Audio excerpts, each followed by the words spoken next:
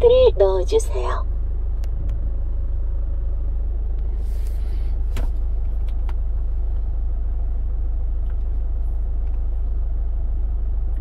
상반기도 청취자가 다 웃겼다. 오르신 말씀입니다.